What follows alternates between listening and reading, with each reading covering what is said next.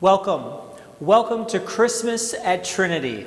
I'm Pastor Kevin Bergeson, and we're so glad that you could join us for this Christmas Eve worship service together. It's not feeling anything like it usually does, and yet, in the midst of the world, God still comes to us in Jesus Christ.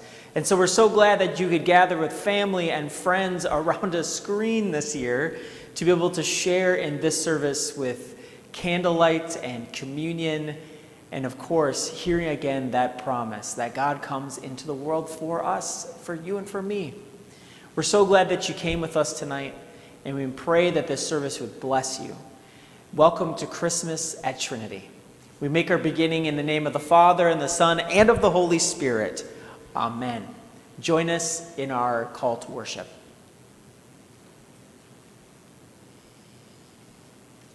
This year, we dreamed of world peace. We dreamed of deep breaths and restful sleep. We dreamed of love that lasts and suffering that passes. We dreamed of doors open wide and a cure to disease. We dreamed because to dream is to believe. For to dream is to hope, to dream is to see. So, Make room in your being to dream yet again of a world without fear and a God that draws near. For it is almost Christmas. Love is almost here. May we dream to see and hope to believe. Let us worship Holy God.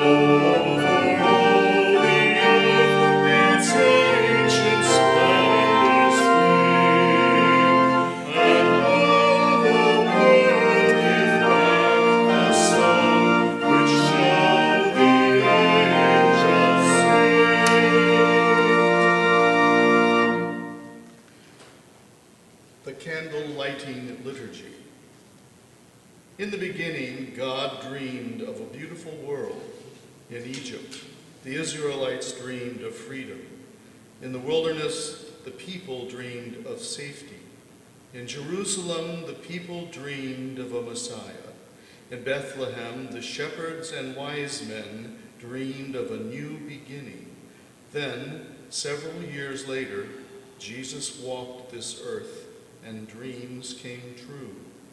The sick were healed, the poor had food, the forgotten and ignored were seen, the children were welcomed. Everyone was invited to the table, and the world has never been the same. So tonight, we are those who dream. Tonight, we dream the same dreams of our ancestors before us. Tonight, we dream of justice and mercy, of love and kindness, of peace and hope. Tonight, we dream of a God that draws near to us out of unfailing love. With the birth of Christ, salvation has drawn near. The Word, which was with God at the beginning, has come down to live among us. The light of new life bursts forth. May this candle be a reminder that there will be a day when every dream will be fulfilled. And until then, we will be those who dream. Let us worship Holy God.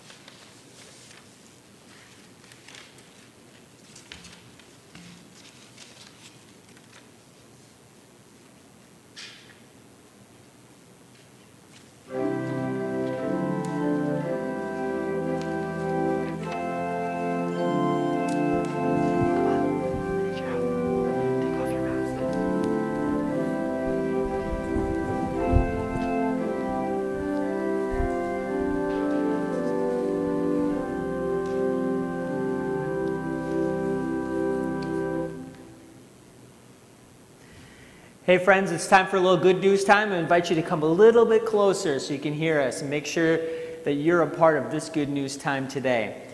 I am so excited, Veda.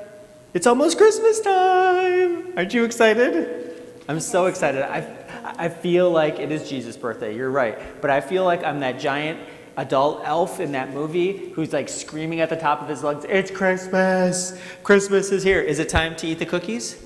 No. No. Um, is it uh, time to open the presents? No. No. Is it um, time to sing all the carols? No. Is it time to eat all the food? No. Why not? Why not? I mean, I mean, I mean, we're all here, right? Is everybody here? Wait, not everybody's here though, right? Who, who, are we, who are we missing? I mean, you're here, I'm here. We can open up all the presents, we can eat all the cookies. Who's missing? Mommy, Elsie, and Sybil. Mommy, Elsie, and Sybil are missing? Oh, yeah, they are, aren't they? Because they're not even anywhere. They're not, they're not here, are they?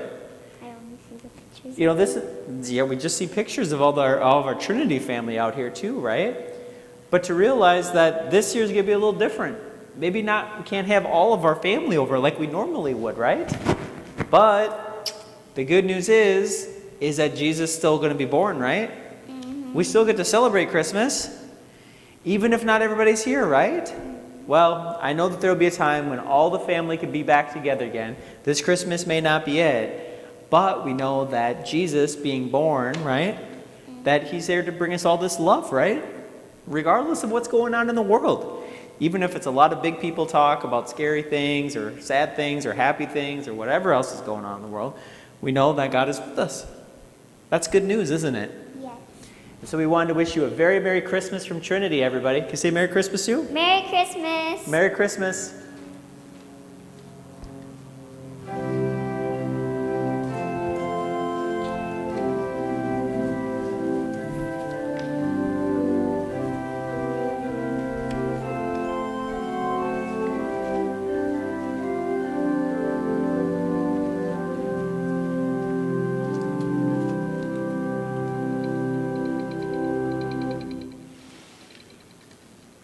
For illumination. Holy God, if we listen closely, we can almost hear the angels sing. If we listen closely, we can almost hear the bleats of sheep following shepherds and the hooves of confused barn animals. And if we listen closely, we can almost hear the innkeeper say, No room. If we listen closely, we can almost hear the star whisper, Follow me. If we listen closely, God, we can almost hear you.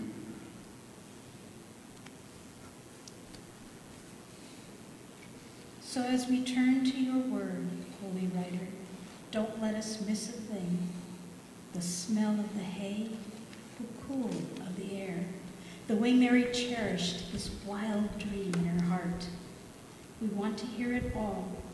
We don't want to miss a thing. So today we pray. Can you help us listen closely? Amen.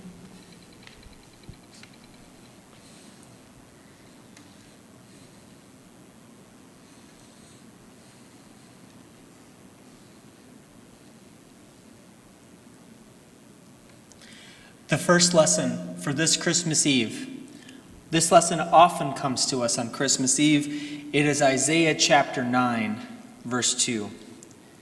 This poem promises deliverance from Assyrian oppression, a hope based on the birth of a royal child with a name full of promise. While Judah's king will practice justice and righteousness, the real basis for faith lies in God's passion for God's people. The zeal of the Lord of hosts will do this. Isaiah writes The people who have walked in darkness have seen a great light. Those who have lived in the land of deep darkness, on them light hath shined. You have multiplied the nation, you have increased its joy. They rejoice before you as with joy at the harvest, as people exult when dividing plunder. For the yoke of their burden and the bar across their shoulders, the rod of their oppressor, you have broken as on the day of Midian. For all the boots of the tramping warriors and all the garments rolled in blood shall be burned as fuel for the fire. For a child has been born for us, a son given to us. Authority rests on his shoulders, and he is named Wonderful Counselor, Mighty God, Everlasting Father, Prince of Peace. His authority shall grow continually, and there shall be endless peace for the throne of David and his kingdom. He will establish and uphold it with justice and with righteousness from this time onward and forevermore. The zeal of the Lord of hosts will do this. This is the word of the Lord. Thanks be to God. I invite you now, as we prepare for the Christmas gospel, to listen to this special music.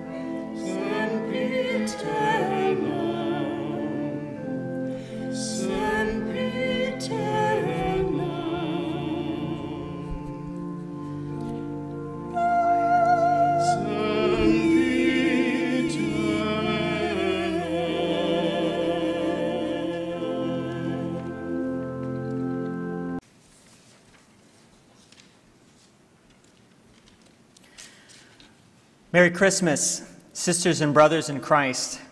Grace to you and peace from God our Father and from our Lord and Savior Jesus Christ. Amen. Phoebe Bridgers. She's a songwriter that you would probably think a little bit like Joni Mitchell. She penned these lyrics for her song called Christmas Song. Coming back from the country for the good food and lousy beer this winter so dry and the dirt road so dusty, at the lightest fall of rain, the bacteria bloom. You don't have to be alone to be lonesome. It's easy to forget.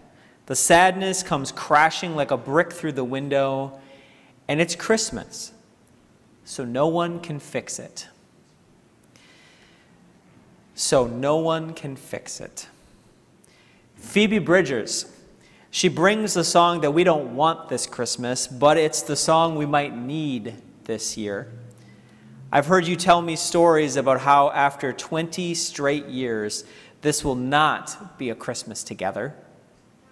And you tell me the dream, the dream to be together, to have a hug, to not watch the paint flaking on the wall. Even if you have been quarantining with family, this year has been um, challenging. And for many, there has been running and adapting and changing and opening and closing since March. Since March. Since March. Yes, our bodies are tired. Yes, our minds are tired. But I also want to name for you this Christmas Eve that our souls can be tired too. Beloved, it's okay that our souls are tired. It's soul tiring to prop up work, to prop up the church as an institution, to prop up our kids and grandkids, to prop up our mental health and give each other, uh, give ourselves the Stuart Smalley pep talk every day. I'm good enough, I'm smart enough, and dang it, people like me. Beloved, it's okay to claim the need for rest for your souls. Even in the midst of this, the stock market has soared the wealthy have gotten wealthier. Some of us didn't really need that stimulus check, and some of us, it kept food on the table. For some, 2020 hasn't even seemed to touch them. And for others, they are literally burying broken pieces of their hearts with a limit of 10 people. Beloved, it's okay to claim rest for your souls. And I want to offer two different ways to do so this Christmas. And so I'm going to invite my daughter Veda to come up now so that you can hear again the Christmas gospel. Veda, would you come up here, please? And as she does, I want you to prepare your hearts and minds to hear again the news of Jesus come to us this Christmas from Luke chapter 2.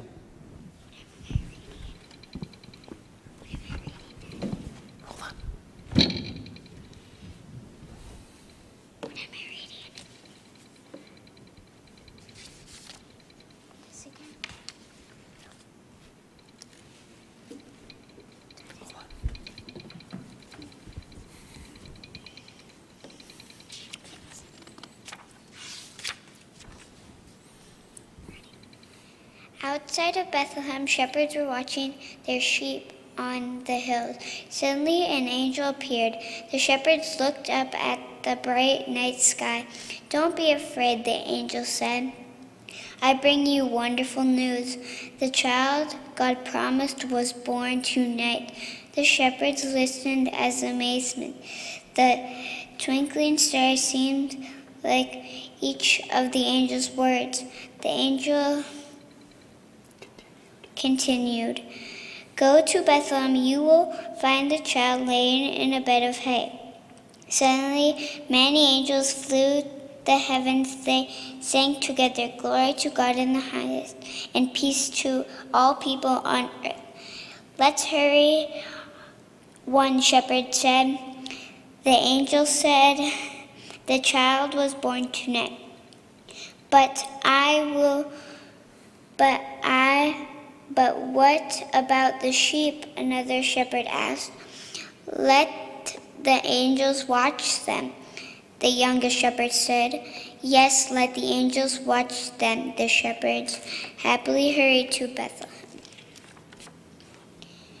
The angel was right. The shepherds found the baby Jesus asleep on a bed of hay. They told Mary and Joseph all the angel had said. The angel said the baby is the Messiah, the promised one. He is the one we have waited for. The, they explained, but he, this is a stable. Would God be born here among,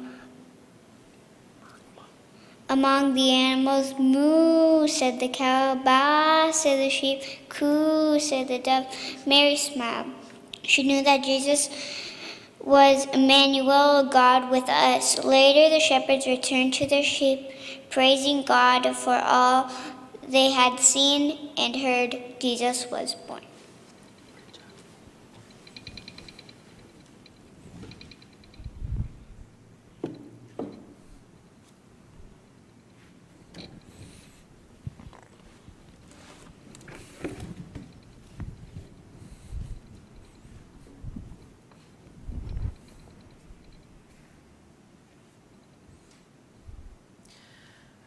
So, what did you hear?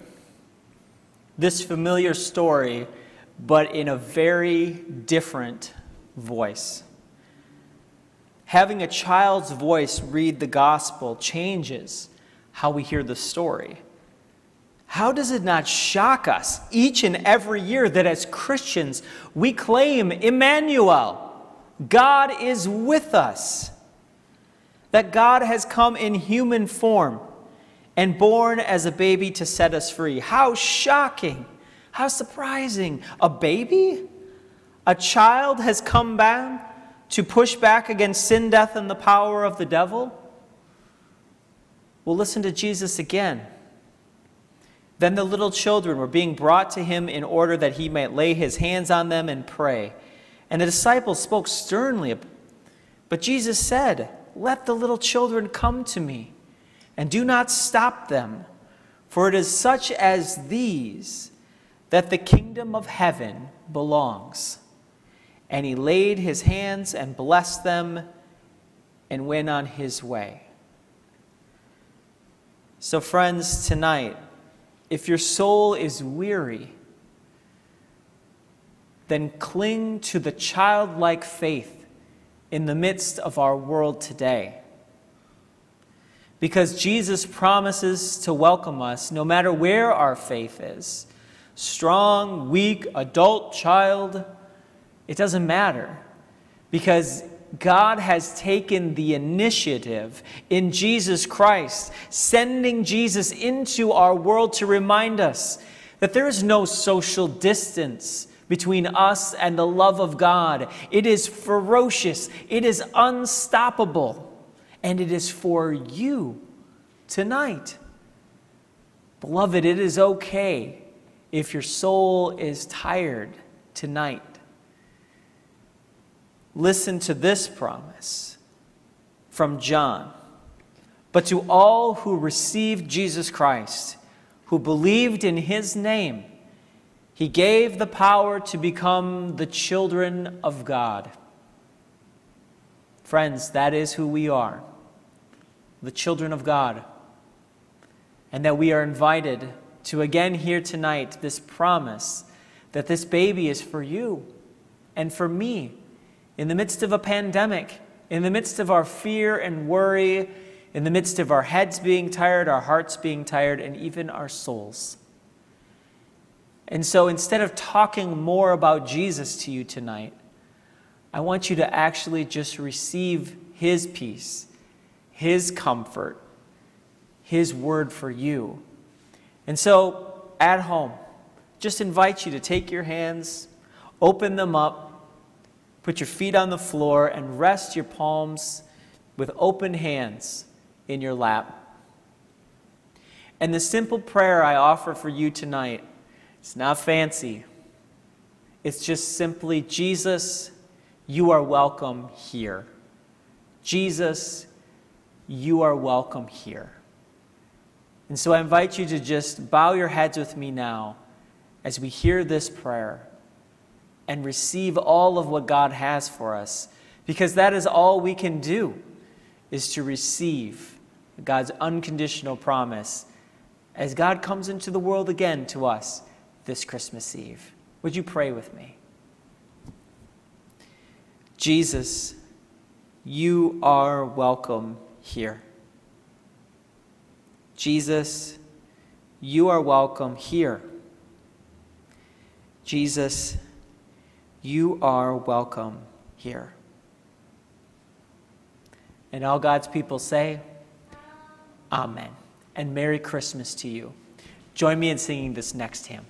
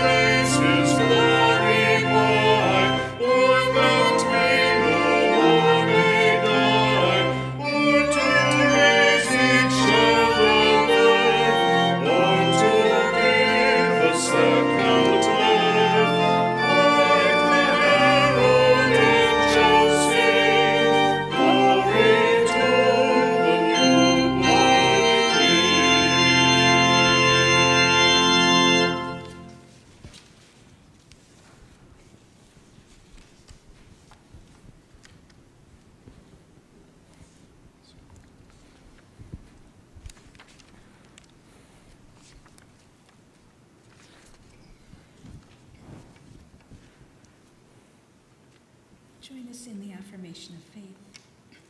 We believe in hope. We believe that to hope is to dream with our eyes wide open. We believe in peace. We believe that peace is not found by accident. Prepare the way. We believe in joy. We believe that joy is an angel chorus and gifts from the Magi, as well as soul food, big tables, open doors, candlelight, fireside warmth, singing in the shower, and the body of Christ gathered as one. We believe in love. We believe that God loves us so much that God could not stay away. So God showed up as a child. We believe that that love is real, we know that it changes us. Therefore, we believe in the power of dreams.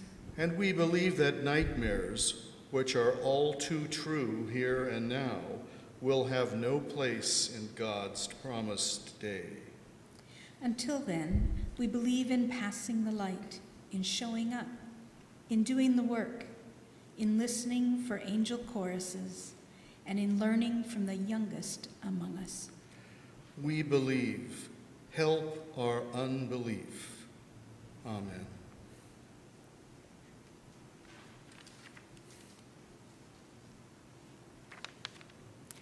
This Christmas, we gather around our tables differently than in past years, and we gather around God's table differently than in past years. At this point, if you'd like to press pause, we'll then gather your elements together for celebrating communion. You can do so now. As we gather around God's table tonight, this Christmas Eve, we remember that on the night in which he was betrayed, our Lord Jesus took bread, and he broke it and he gave it to his disciples, saying, Take and eat.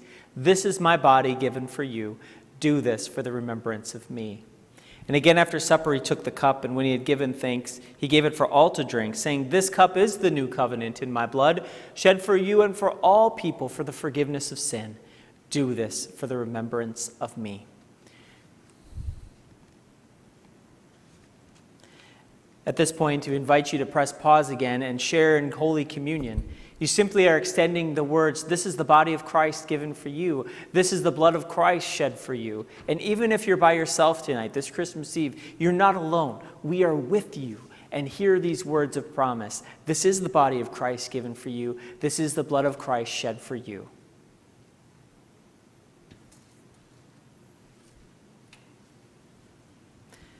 And now may the body and blood of our Lord Jesus Christ strengthen you and keep you in his grace.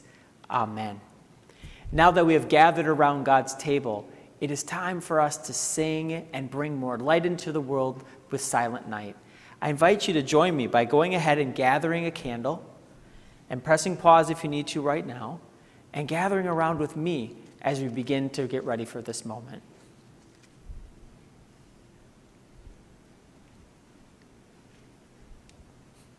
Veda.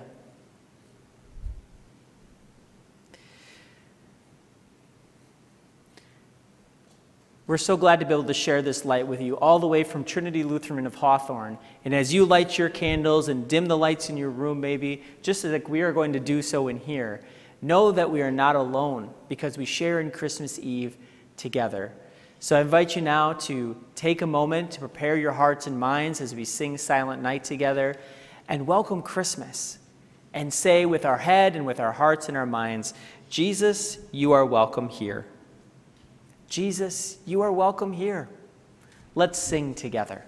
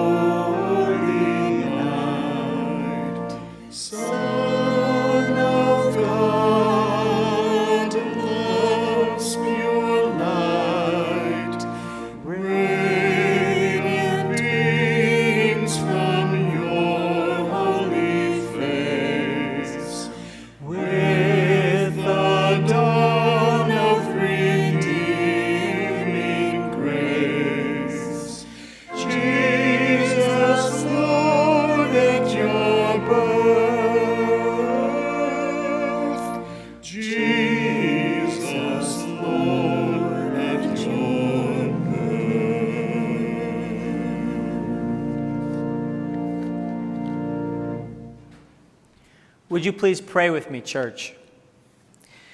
We come to you tonight with dreams tucked into our pockets, admitting that at times it feels like a risky to dream. At times it feels risky to ask for too much to believe in that which we cannot see. So instead, we make wishes on stars and search for luck in clover fields. Instead of sinking into you, we try to control the narrative. However, somewhere, rumbling deep in our heart, there is a dream for a better world, trapped like a caged bird. Open our eyes to you in our midst. Give us the confidence of Mary to sing into the mystery. Dust your dreams off for the shelves of our hearts until once more we are those who dream. And all God's people say, Amen. Amen. Now may the Lord bless you and keep you. May the Lord make his face shine on you and be gracious to you. May the Lord look upon you with favor and give you peace, Christmas peace. In the name of the Father and the Son and of the Holy Spirit. Amen. Join us in our closing hymn.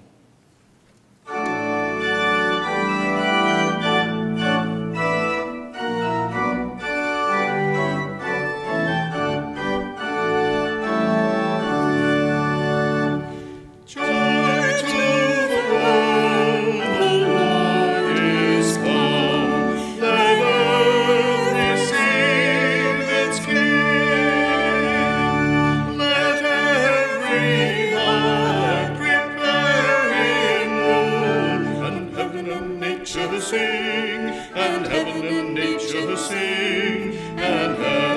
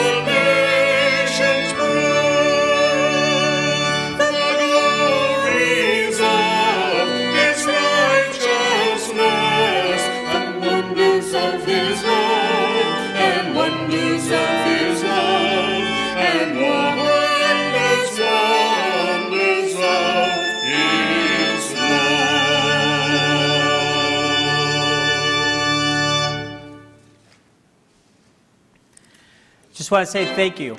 Thank you for being a part of Christmas at Trinity. And we're so excited to be able to invite you to be part of what God is doing in and through us in the new year, too. So stay safe and Merry Christmas. Now, here's David's amazing post Listen to this.